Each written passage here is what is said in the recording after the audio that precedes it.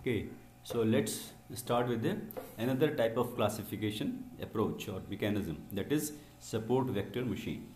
Now here we are considering the data of a breast cancer and we are trying to classify the cancer in the breast whether the cancer is benign or it is malignant. That is our purpose of doing this exercise.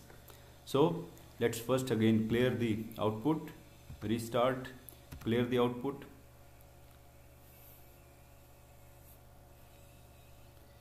So now let's start now. So we are that, that this is our heading that is svm2 breast cancer classification benign or malignant. This is a cancer data set which deals with multi-class classification problem. This data set is computed from a digitized image of a fine needle aspirate fna for a breast mass. They describe characteristic of the cell nuclei present in the image. So this is the type of data, image data is there which we have used for the purpose. Let us keep on running also side by side. So the data set comprises 30 features, right? Mean, mean radius, mean texture, mean perimeter, mean area, mean smoothness, mean compactness, mean concavity, mean concave points, mean symmetry, mean fractal dimension, radius error, texture error, perimeter error, area error, smoothness error. So like that, there are so many parameters. We we are not experts in the cancer disease as such, but definitely we have got the data and we have to do the our job that is classify it, right? So again we can run it because this is again all remarks. Nothing will happen here. Now this data has two types of cancer classes, malignant which is harmful and benign which is not harmful. That is the two, two types of categories of, of this cancer. Our objective is to build a model to classify the type of cancer. The database, the data set is available in the sklearn library. So we can again use the sklearn library and from there we can pick up the data and import the data and then we can use it. So import uh, sklearn database library, dataset library. So for that again we can run it so that the data set can be imported from there. Then we are going to load it into a variable called cancer. Cancer is equal data set load breast cancer. We have loaded it. Now we are going to print the description details of that which is possible with the help of this uh, command let print cancer description. So once we run it you will see that all the details technical details from the medical point of view I mean those who are in, uh, having the knowledge they can definitely find make out some meaning from this. But as far as we as an analyst we, we need to you know process it based on our logic that that is there. So attribute information radius texture whatever uh, factors that we have seen all that have been taken into account. Then uh, these are the again various figures that we have got for each of these parameter then uh, missing attribute none. And then uh, class distribution malignant benign all such things are there. Who is the donor? When was this done? All such details complete description whatever has been stored is all available to us for our un understanding or reference. So the data is in array can be converted into column. Like, like we have done earlier here also we can convert it from the array to columnar data so for that we again need to import certain libraries. So we import these libraries like pandas, numpy, seaborn and matplotlib, right? So after doing this, we can convert the data from array to columnar data. So by with this code we can do that, right? Now we can again print the top five rows. So that can be done with the help of this and you can see that top five rows have been printed with details of all these variables features that we have seen earlier in the hmm, in the description also and even before that also we have seen all that right? So this is how we can get familiarity with the data set. Now we'll let us see what is the types now by this you know mean radius texture all those things again will be available to you. And what is the kind of data? Float 64 etc so all such details which again is useful for us so that we should be familiar with these details also. Now this df.info again further we are trying to do the exploration of the data and we are getting some more information about it right? So this is how we can get more and more information and more and more familiarity with the data set now here again we are going to get the, statistics of this data. Whatever data is available like count mean standard deviation etc we will get all that for our reference so that and see that all those features which are there which we have seen all these details of that will be available to us. Right now we have not done any analysis till now but definitely this is all exploratory of exploration of the data and we are trying to understand the data more and more. Now let's go to get the target names. So once we do that there are two types of the target is one is that malignant whether it is malignant or it is benign. So this is how we are going to get in our data set also. So you can see that here we see it is numpy n dimensional of array is there and once we print the cancer you will see that you are getting the array like this. So this is again so we can have both types of data within in the form of array and in the form of columns. Right? So here we are going to do a, bit more exploration of the data. So like print the names of the 13 features. Now print features cancer dot feature names and print the label types of uh, cancer that is malignant or benign. Print labels. So there, with this kind of a code you can say that we are you know, we, we are going to get the details of that. Features is equal to mean radius mean texture mean perimeter etc etc so these are all these details about various you know features we are going to get. Again this is for information no analysis has been done but definitely we are getting more information about the data set. Now here let's explore it a bit more and you can also check the shape of the data set using shape. So again nothing will happen here.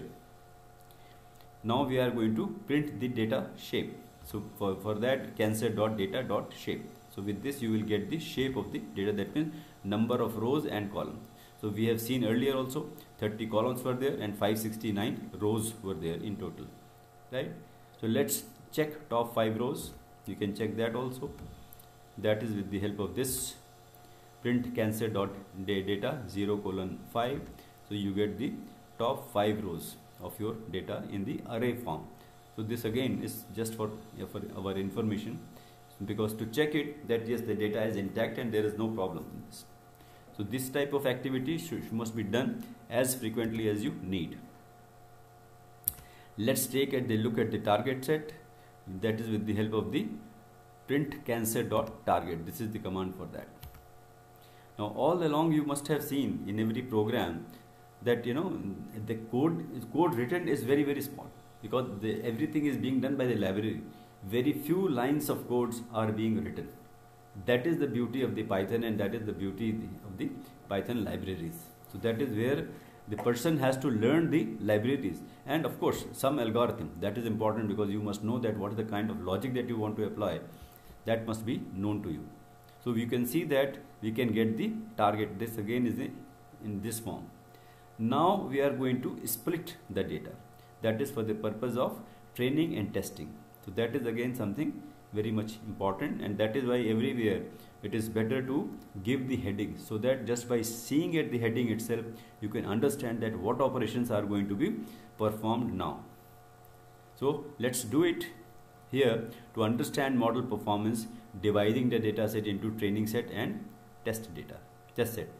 Splitting the data set by using the function train test split you need to pass three parameter features target and test site uh, test set uh, size.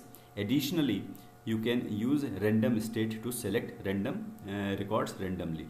So this is how you can you know do uh, uh, split your uh, data data set into training and testing right? So we have done this also. Now import train test split function.